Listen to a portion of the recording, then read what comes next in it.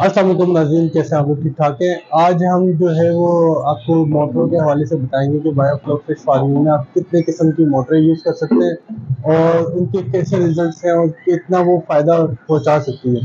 तो आज हमारे साथ मौजूद हैं अब्दुल गनी साहब, जिन्होंने हमें रूट ब्लॉड से इंट्रोड्यूस करवाया कि रूटरीज जो है वो कितनी ज़्यादा बेनिफिशियल है और ये हमारे पास यहाँ लोकली शहरशाह में भी मौजूद होती हैं, कबाड़ी मार्केट में, लेकिन वो ज़्यादा सफिशेंट नहीं होती, कोई ना कोई फॉल्ट होता है, तभी वो जो है वो यहाँ आती है। लेकिन उसको अगर रिपेयर हो जाए तो वो काफ़ी अच्छी चलती है। लेकिन हम ये रिकमेंड करते हैं कि आप फ़िश फ़ार्मिंग के अंदर जो है वो न्यू चीज़ें यूज़ करें, ताकि रिस्क फैक्टर कम से कम हो। लेकिन इंट्रोडक्शन के तौर पे मैं एक लेकर आया हूँ रूटरी और उसके हवाले से हम आज आपसे जो है सारी चीज़ें डिस्कस करते हैं। ये ये रोटरी कंप्रेसर है एयर कंप्रेसर ये फ़िश फ़ार्मिंग में यूज़ होता है। इसमें ये बाहर वाली जो बॉडी है, ये सिलेंडर कहलाती है, अंदर बैंड हैं और ये शार्प इसके सेंटर से हटी हुई है, नीचे है और ये जो बड़ा हिस्सा है, ये इसका सक्शन है और जो तंग हिस्सा आउटलेट है ये और ये एयर कंप्रेस करता है और इसमें कोई वाइब्रेशन नहीं होती और ये बहुत ही जो रेसिप्रोकेटिंग कंप्रेसर से ये बेहतर है। और इसकी एफिशिएंसी भी अच्छी है। इसके साथ डीसी मोटर भी लगाई जा सकती है? इसके साथ डीसी की मोटर एसी की मोटर कोई मोटर भी लगा लें इंजन भी लगा सकते हैं इसको घुमाना ही है ना। हम्म, हम्म। तो आप किसी चीज़ से भी घुमा लें इसको। और ये बहुत ही एफिशिएंट चीज़ है।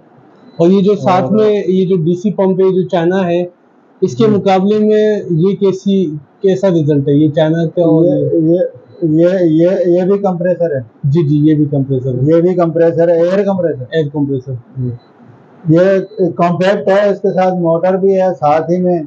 और ये जो है इसके साथ अलहदा कोई पुलिस बेल्ट सिस्टम करने की ज़रूरत नहीं है। और ये कॉम्पैक्ट है एक ही चीज़ है बस इसको लगाएँ और इस्तेमाल करें। और इसमें और इसके साथ तो आपको मोटर भी लगानी पड़ेगी पुली भी लगानी पड़ेगी बेल्ट लगाएँ या कपलिंग लगाएँ। तो इसके साथ अलहदा से ड्राइव अगर किसी ने काम शुरू करना है तो आप क्या मशवरा देंगे कि ये छोटी वाली मोटर लगाएँ या बड़ी वाली मोटर लगाएँ?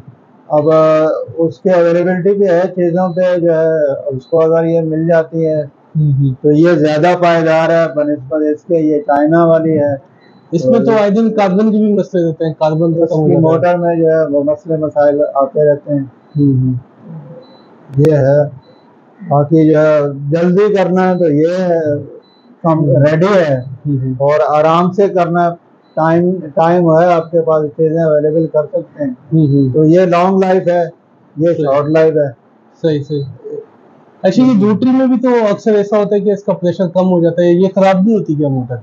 इसमें जो वैन है ना वो घिस जाती हैं। तो फाइबर के होती हैं वो घूमती हैं तो रगड़ के ना चलती हैं। हम्म, हम्म, हम्म। उसकी दीवारों के साथ रगड़ के चलती हैं तो वो घिस जाती हैं। अच्छा। और वो साइज़ में छोटी हो जाती हैं फिर उनमें गैप आ जाता है। अच्छा अच्छा। तो गैप आता है तो उनकी एफिशिएंसी कम हो जाती है। तो जब वो गैप खत्म हो जाता है तो उसका जो फाइबर है वो मिलता है अलग से या फाइबर की दूसरी बैंस जो है ना अलग से मिल जाती है नई बैंस आप इसमें डाल सकते हैं।